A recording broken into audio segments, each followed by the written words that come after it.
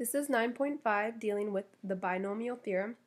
Our first three objectives are to be able to use what we call combination notation and be able to calculate these combinations, be able to generate Pascal's triangle, and then expand binomials using the binomial theorem.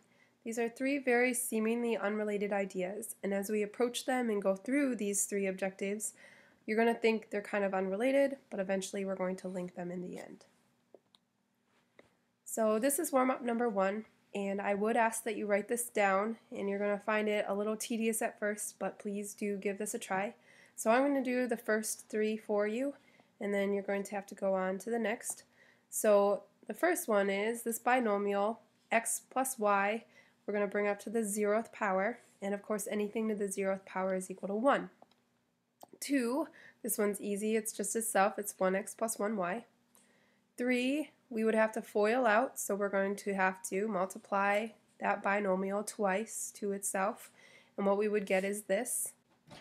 I'm going to leave you do, to do x plus y to the third on your own at this point, and I did leave you kind of with the harder one, but really all you need to do is you have to take this x plus y to the second that I've simplified here and multiply another x plus y to it.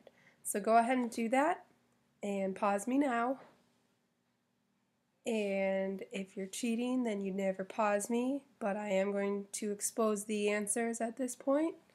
So pause me. But here is the answer to x plus y to the third. So you'll see again, I took my x plus y to the second, expanded out, times this x plus y, and then we got several terms in that multiplication process. But when you simplify it all out, you're going to get this. So this one, I took my what I expanded out to the third power and I multiplied another piece and a lot of more terms there and then simplified we got this. So just keep in mind if you didn't simplify to go back and do that but there those parts go to that and then likewise those to that. Alright, so please do make the effort to write these in your notes. This was the first kind of objective was expanding binomials. Warm up number two. This is going to be dealing with what we call combinations. There's two things in statistics that are close re closely related. They're combinations and permutations if you've gone through a statistic class. We're going to be dealing with that idea that, hey, you're going to be four, there's four students wanting to be in student council and there's just two slots.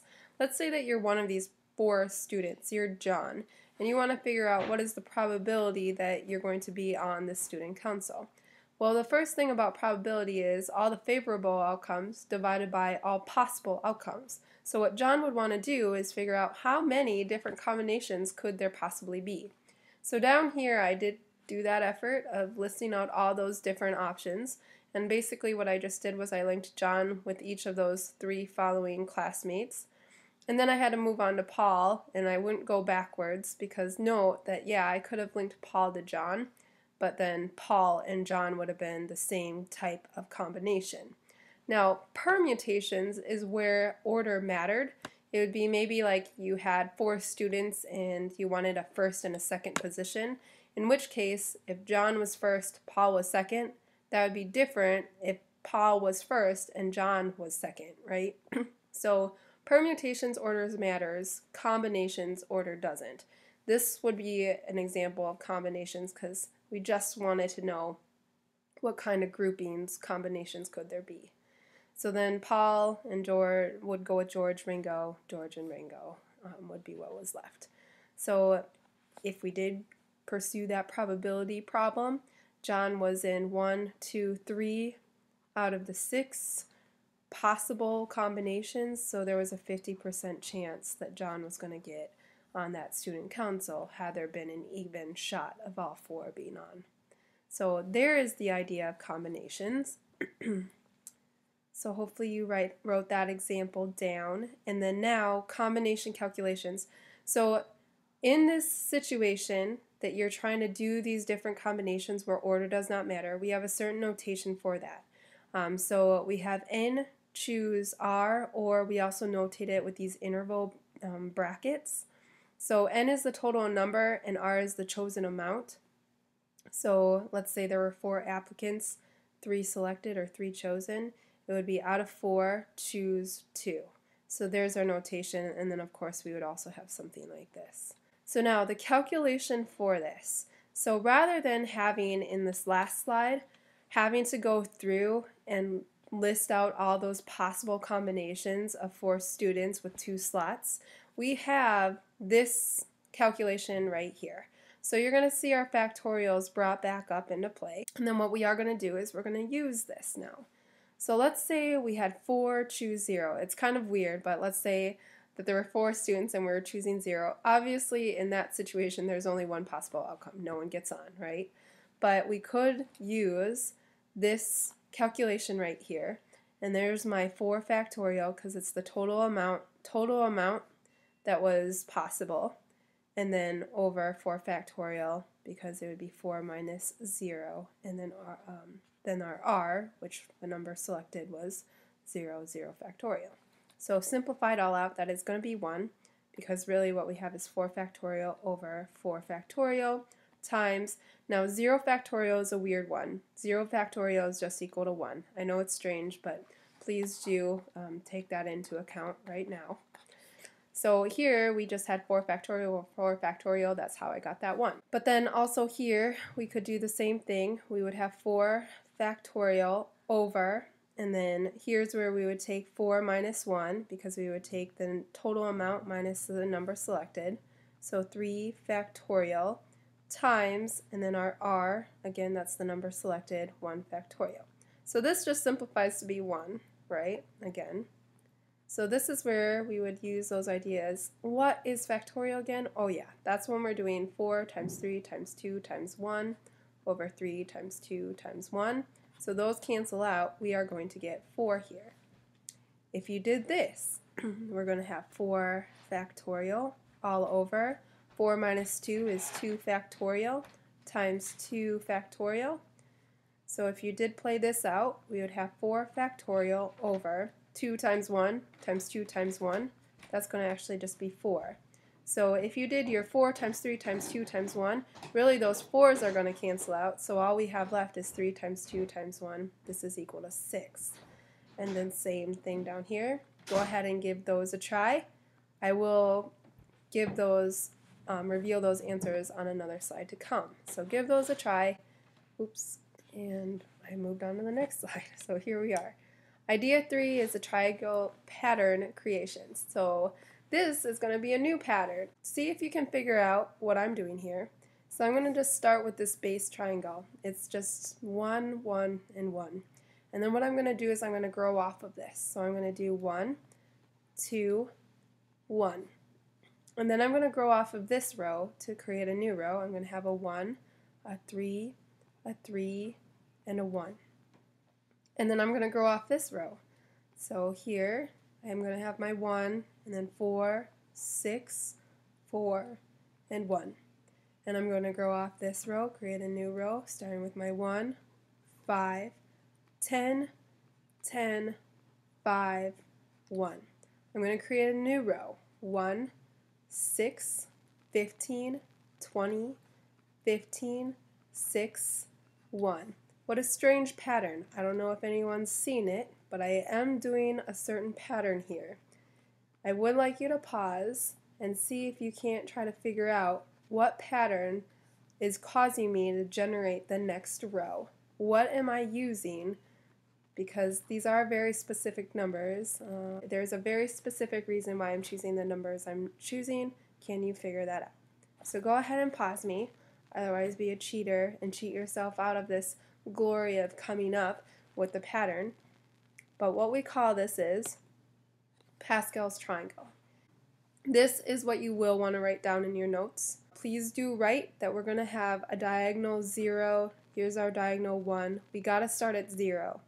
And then row 0, row 1, we're going to also start at 0 for our rows. So please do kind of indicate that to yourself and kind of star that because that is important. So if you didn't figure this out, what I was using is you're always going to start with your base triangle 1, 1, 1. We always start with 1s and diagonal 0. So our diagonal 0 is all 1s because we're going to start each row with 1.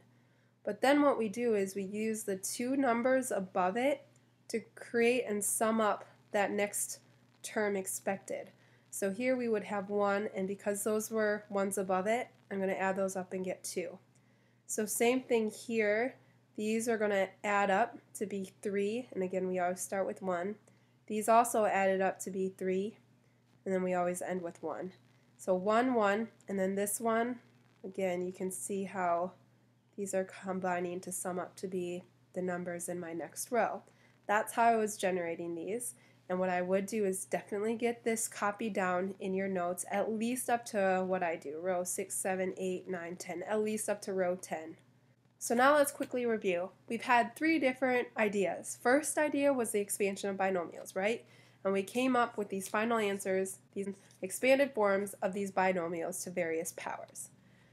Then we looked at idea number two. We came up with these combination calculations using this definition right here. And then we looked at Pascal's triangle.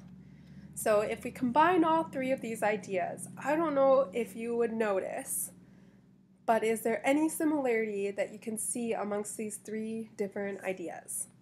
And take a moment, pause me if you'd like to try to identify it.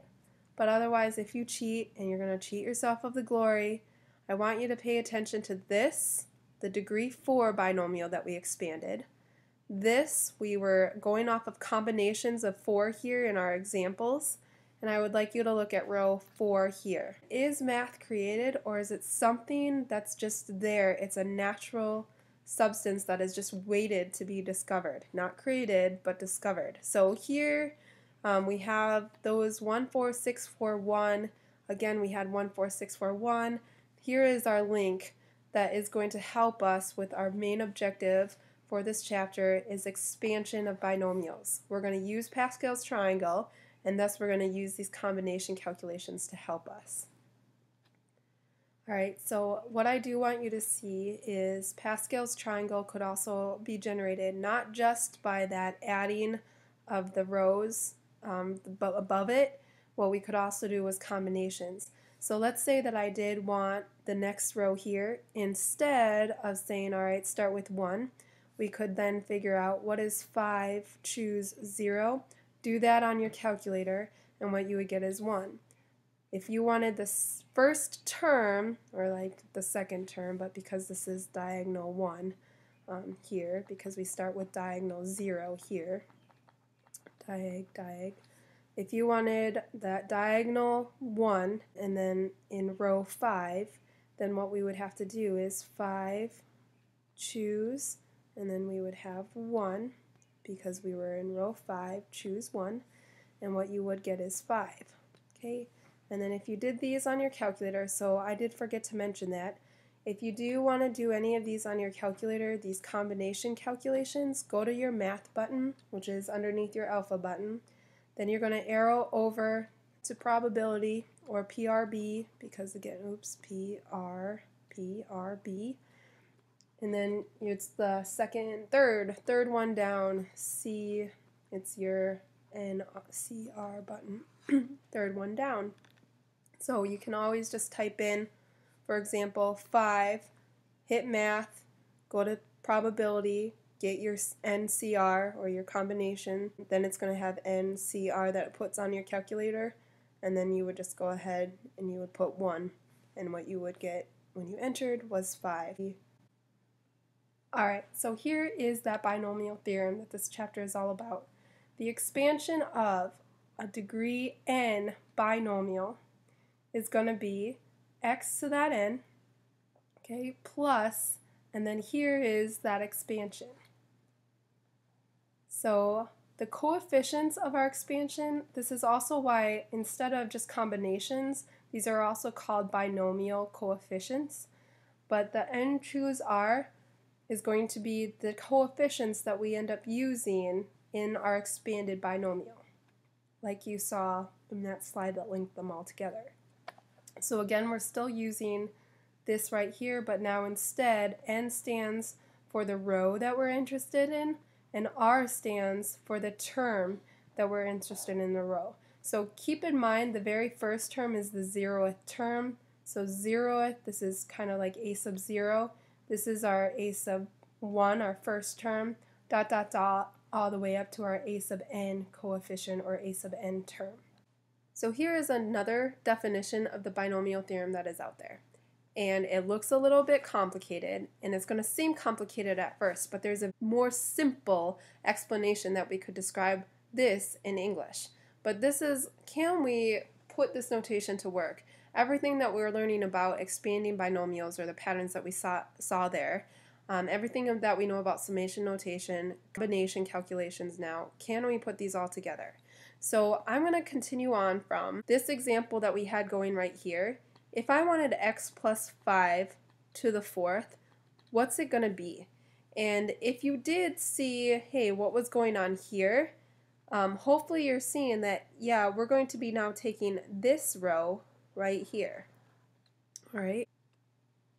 So can we combine that idea to this definition right here, um, x plus y to the fifth, and then get some sort of simplified English version of what this, this is. So here we are going to use this notation to the fullest. We're starting at an index just 0. So we're starting at the zeroth term and we're going to work our way up to 5.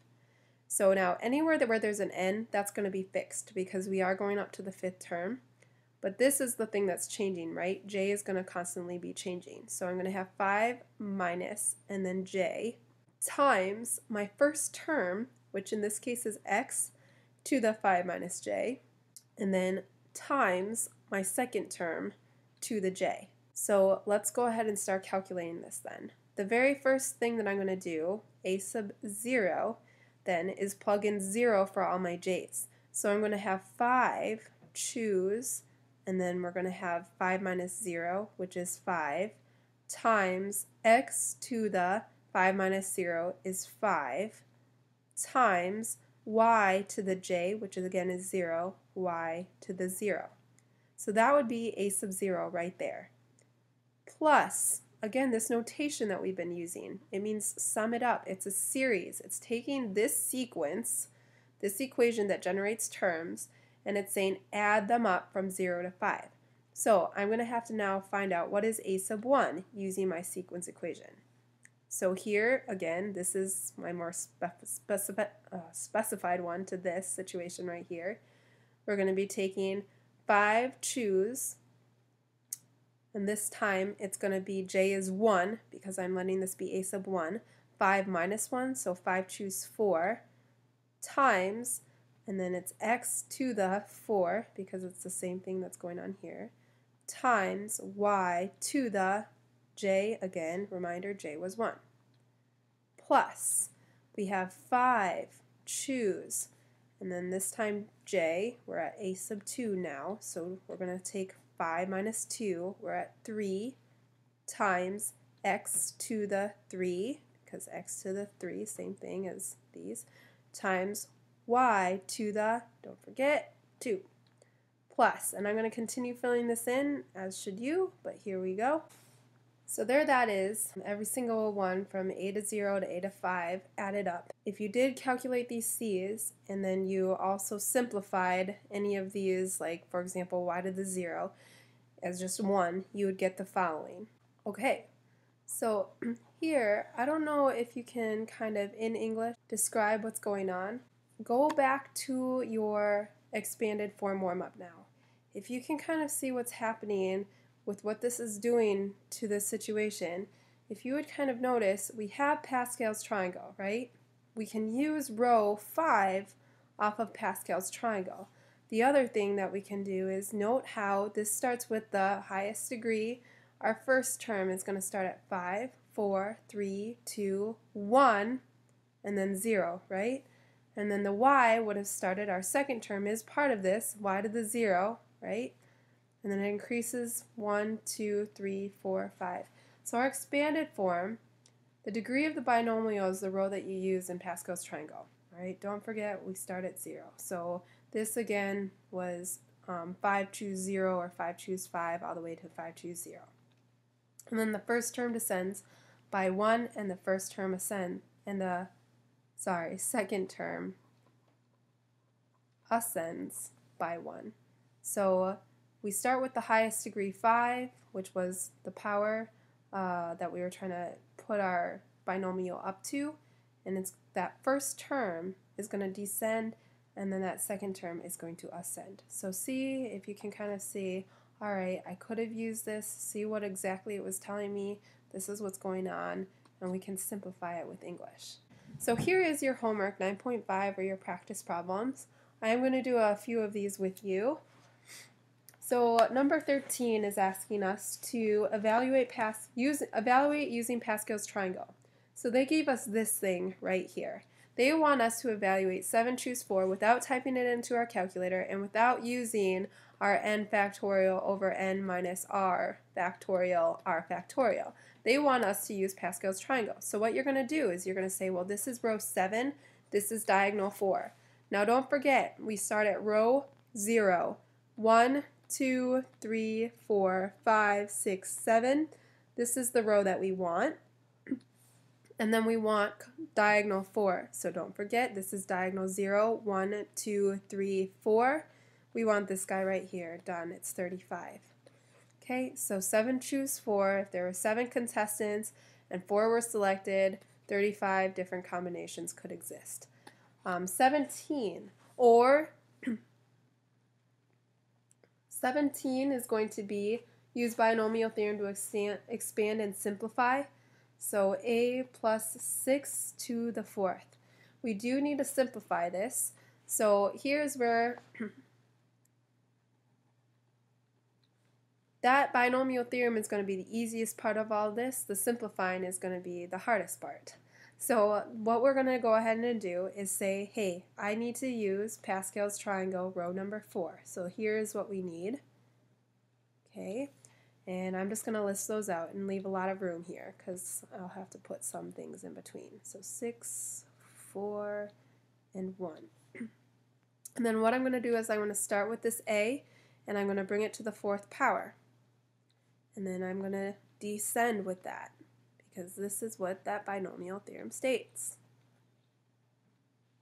Okay, and then with the second term, 6, I'm going to bring that up to the fourth. Oh, I'm sorry, the zeroth, because I'm going to ascend with that. So here, 6 to the 1, 6 to the 2, 6 to the 3, and then 6 to the 4. So here we are going to have to add up in between. And so simplifying this all out, it's going to be a to the fourth plus and then here we have 4 times 6, so it's going to be 24a to the third.